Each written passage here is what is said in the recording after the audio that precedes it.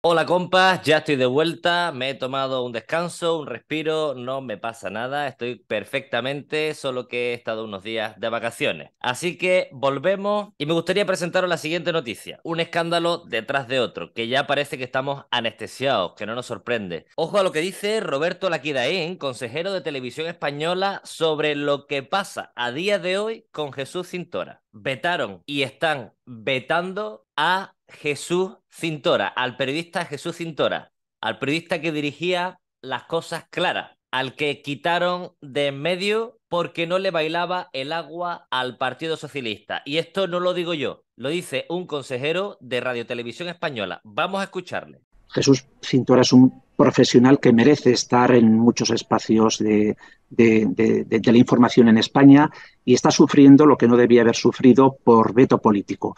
Eh, no solamente hubo promesas, eh, Julián, sino que hubo um, llamadas concretas, a mí me las hicieron, hubo reuniones concretas a finales de enero del 2023 hace ahora dos meses, donde ya se cerró, se cerró prácticamente la vuelta de Jesús Cintora.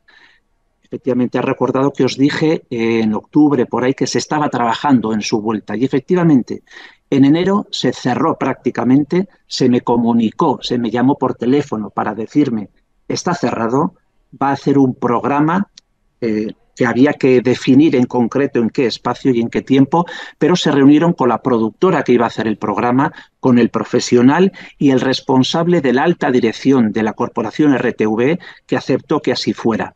Solamente me dijo una cosa, solamente me dijo una cosa. El día que me dijo que estaba cerrado y hecho lo de Jesús Cintora, me dijo que al día siguiente, para otras cuestiones, tenía que ir a Moncloa, en concreto para hablar del semestre de la presidencia de España en Europa que sabéis que es en los últimos seis meses de este año. Yo lo di por cerrado, pendiente de la vuelta de la reunión que tenía en Moncloa para hablar de otras cosas.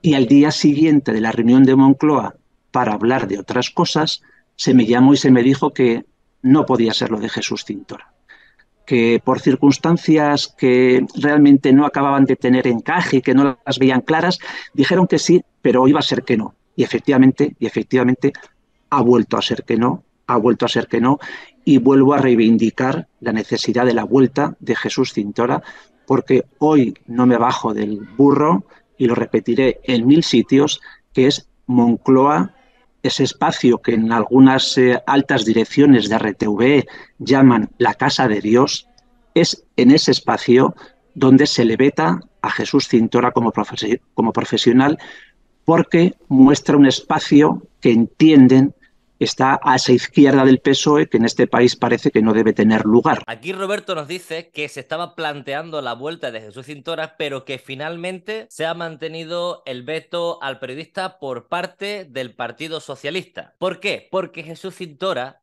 no se ha vendido al Partido Socialista. A Pedro Sánchez y al Partido Socialista no le interesan periodistas como Jesús Cintora, le interesan periodistas como Antonio García Ferrera. ¿Quién hace las entrevistas más importantes a Pedro Sánchez? Ferrera. ¿Usted cree que eso va a cambiar en la ciudadanía europea?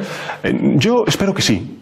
¿A quién le interesa que programas como Las Cosas Claras no sigan emitiéndose? A Al Rojo Vivo, al programa de Antonio García Ferrera. Ferrera y Pedro Sánchez se dan la mano para que Jesús Cintora no tenga un hueco en el periodismo de este país, que no tenga un hueco en la televisión. Y así vemos cómo opera el poder político y económico. A aquel que esté a la izquierda un poquito del Partido Socialista debe ser vetado. Y eso es lo que ha pasado con Jesús Cintora, tanto en pasado como en presente. Y esto es una auténtica vergüenza. Para que Pedro Sánchez y el PSOE sigan teniendo popularidad, para que sigan siendo votados, necesitan de los medios de comunicación.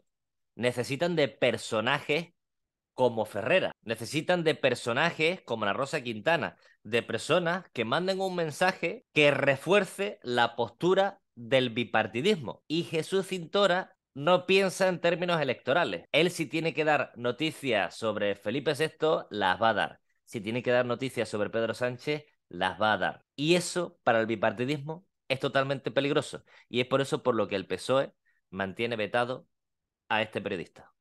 Una vergüenza.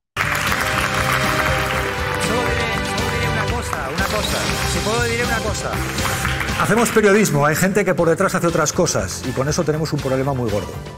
Sean honestos, hagan periodismo y muchísimas gracias. Se quedan con el telediario, sigue la televisión. Te pone Iñaki, a ver, ¿me lo puedes leer? Si eres tan amable.